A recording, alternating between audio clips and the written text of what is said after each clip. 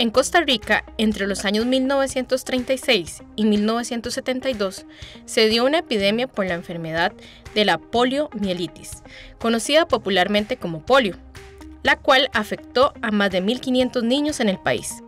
Al tratarse de una enfermedad mortal, causada por un virus que se transmite de una persona a otra y que infecta la médula espinal y causa parálisis, Muchas fueron en ese entonces las acciones implementadas por el gobierno y las familias para prevenir el contagio.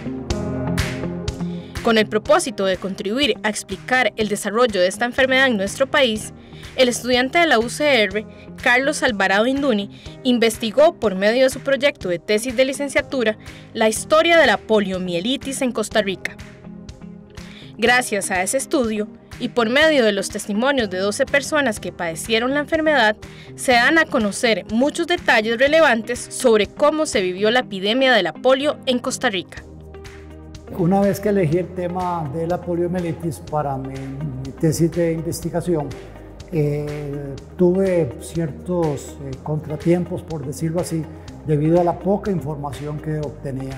Si hay muy poco escrito sobre este tema. Sin embargo, pues eh, Ahí seguí para adelante, no me iba a detener la poca información ni la poca literatura que podía conseguir y realicé 12 entrevistas a gente que había padecido poliomielitis en Costa Rica. Esa fue la gente que le dio vida a mi investigación.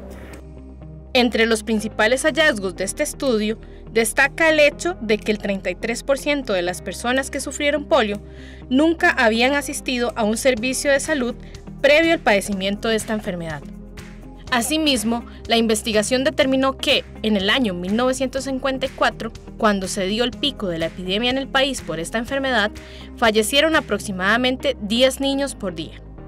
La mayoría de los de la polio eh, sufrieron eh, problemas eh, o atrofios en los miembros inferiores, en los miembros superiores simplemente en la mano derecha.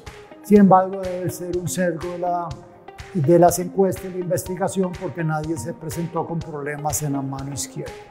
También que, los, que los, de la gente de polio siempre fue cuidada por las madres en el 92%. Y dice un dicho muy claro que madres solo ayudan. Eso es el reflejo que se ve en que las cuidadoras siempre fueron, nunca abandonaron, abandonaron a sus hijos en esa época. Es importante también rescatar la importancia que tuvo la Casa Verde, que fue el primer albergue para niños con poliomielitis, o el Hospital San Juan de Dios, que se crió a raíz también de, de, la, de la poliomielitis, el PANARE y el CENARE, que son centros de salud donde iban a rehabilitarse la gente que padeció de poliomielitis.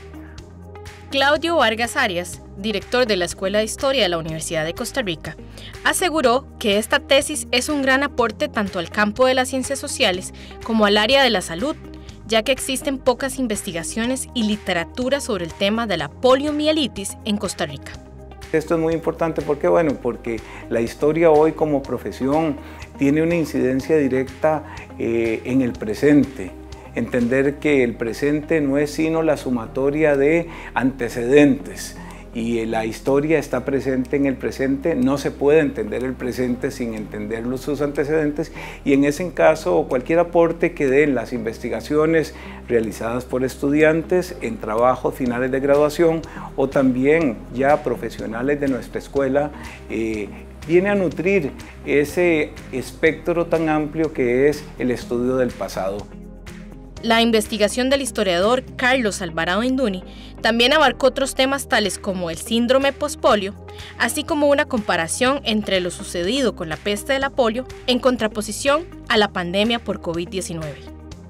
El estudio abre camino a otras investigaciones en el área de la historia de la salud y de la historia de la medicina en Costa Rica.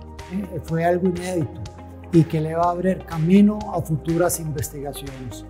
En mi investigación se tocan eh, los puntos del síndrome pospolio, también eh, puntos con la relación entre la polio y la COVID-19 que creo que van a servir enormemente para futuras investigaciones. Creo que esto es un terreno muy fértil para las futuras generaciones que deberían rescatar hoy exactamente toda esa información La presentación de este estudio se realizó el 24 de octubre en el marco del Día Mundial de la Poliomielitis, fecha establecida por la Organización Mundial de la Salud con el objetivo de reafirmar el compromiso de los países en erradicar esta enfermedad. Reportaron para Desde la U Tatiana Carmona y Gabriela Pérez.